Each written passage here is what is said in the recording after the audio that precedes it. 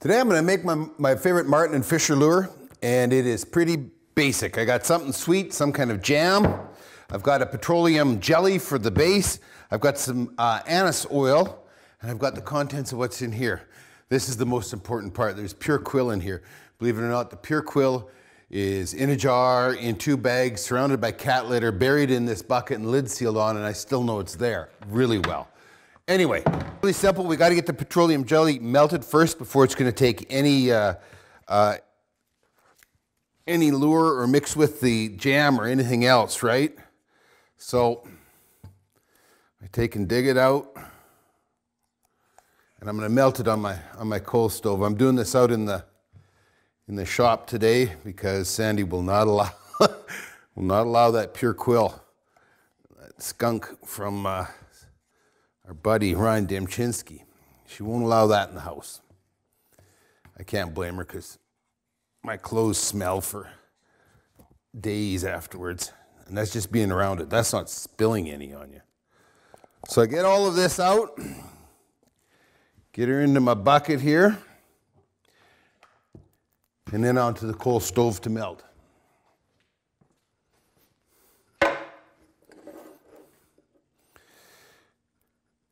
If you don't melt this, your jam, your uh, anise oil, and your skunk won't mix with it. It's really strange how it works. But if you get it melted, get it liquid, then you can get everything stirred in. Oh, I already spilt.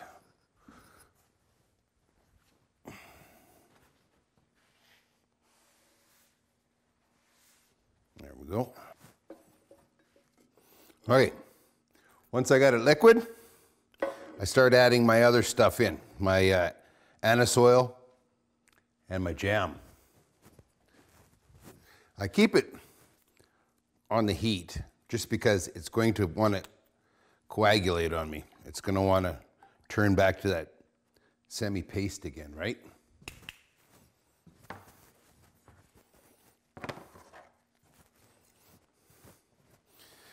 I don't know. I don't know if it matters what kind of jam it is. This is uh, some leftover raspberry and leftover apricot.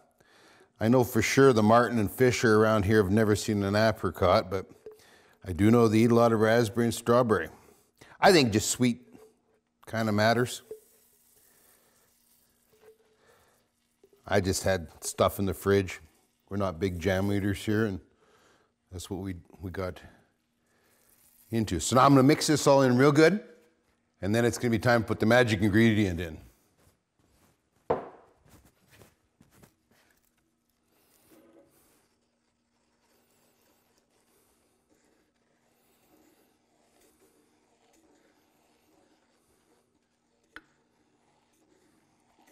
I'm just letting that jam warm up in there in that in the petroleum jelly. Oof. There you go. See, that is pure quill. See that red color? That is beautiful. See that yellow mustard in the bottom? That is drawn straight out of the skunk. No dilution there. So I'm gonna mix them together, and then I've got two jars here that I'm gonna pour, the, pour it all into. The jam wants to separate from the petroleum as it sets up, so you gotta keep turning it over, but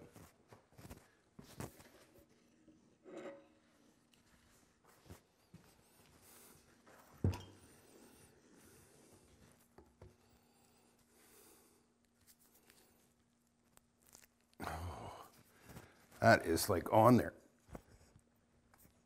And I really don't want to bobble this. Oh my goodness. This stuff is so powerful. All you smell, to me, is actually, I don't even smell anymore. I taste. I taste garlic.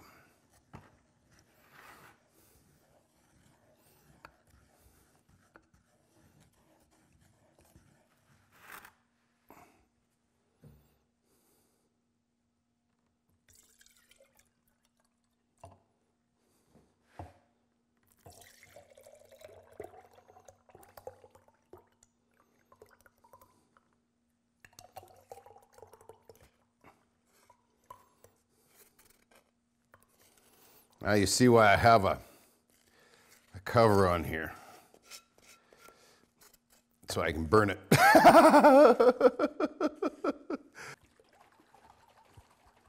I just keep shaking it up as it cools.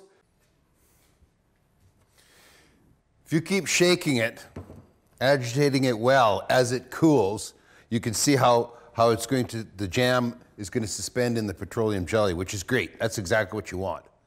Uh, but it takes a lot of shaking as it cools. And then I like to, at, at, the, the final part, when it's starting to get really thick, I like to just stand it on, on its top like that. So then when I use this out in the field and I, I screw that lid off, my, my lure is right there. It's not down at the bottom, and I'm not, I'm not looking for a stick to go digging for. Simple. Rich's old fashioned Marten and Fisher lure. there we go. I got a bunch of stuff to burn. Simple, easy, effective, works good for me.